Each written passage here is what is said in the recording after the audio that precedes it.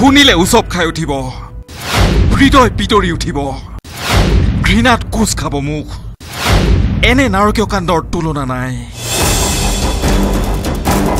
ৰজনী পুত্ৰ কুলাংগাৰ দেৱাশিষ খাৰঘৰীয়াই আছিল পাখণ্ড। কিন্তু তাতকৈ পিখাচ এটা পুত্ৰ। নিজ মাতৃকেই দলিয়ালে নদীত। কলঙৰ বুকুত হেপ ঢুকি ঢুকি নিদাৰুণ মৃত্যু সাৱটিলে পিখাচ পুত্ৰৰ জননীয়ে।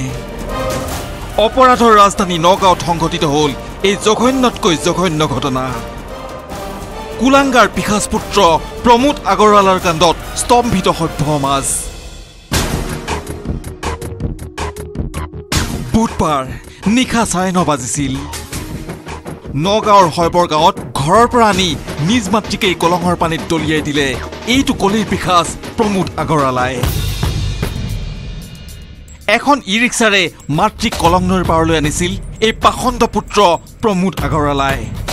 এই লোমহৰ্ষক দৃশ্য চাই মুখৰ মাত সৰিছিল ৰিক্সা চালকজনৰ। ই ৰিক্সা চালক আলী হুছেইনৰ খবৰৰ ভিত্তিত আৰক্ষীয়ে গ্ৰেপ্তাৰ কৰিলে এই কুলাংগাৰ পিখাচ প্ৰমোদ আগৰৱালাক।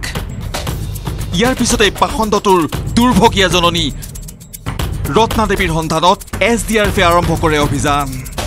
কেইবা ঘণ্টাজোৰা চলা অভিযানৰ অন্তত উদ্ধাৰ হয় দুৰ্ভগীয়া মহিলা ৰত্না দেৱীৰ মৃতদেহ।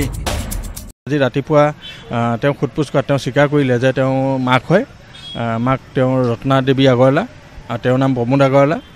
তেওঁ মাকক কি কলঙন কলং নদীত পেলাই দিছে বুলি পেলাই তেওঁ স্বীকাৰ কৰিছে। তাৰপিছত এতিয়া মানে পুৱাৰ পৰা আমি এ জে এফ টীমৰ সহযোগত মানে ডেড বডিটো ৰিকভাৰৰ কাৰণে ব্যৱস্থা কৰি আছোঁ।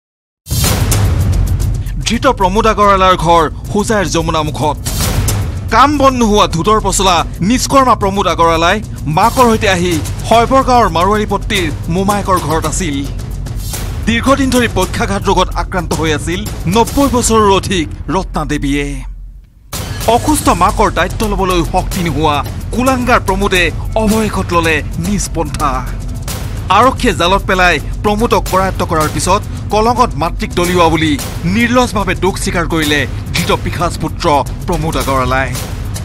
মাক ঘৰত মাক মাক কলঙত পেলাই দিছে কিহৰ কাৰণে পেলালে?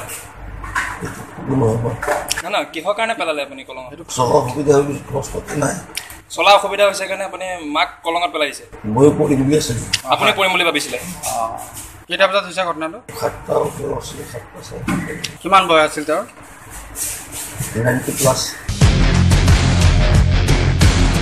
কি এক জঘন্য কাণ্ড? পিতৃবাক্য পালি পৰশুৰামে কৰা মাতৃহত্যাৰ পাপো কম হ'ব। নিজ প্ৰমোদে কৰা এই পাপৰ তুলনাত। শিৱসাগৰৰ আন এক কুলাংগাৰ পুত্ৰ ৰজনী খাৰঘৰীয়াৰ সন্তান দেৱাশিষৰ কলংকও কৰবাতেই থাকিল। ধিক্কাৰ গঞ্জনাৰ ভাষা নাই। এই কুলাংগাৰটোক দৃষ্টান্তমূলক শাস্তি বিহাৰ দাবী তুলিছে ভিন্নজনে। হোজাইৰ পৰা Nilotpal Bora news eighteen Assam north east.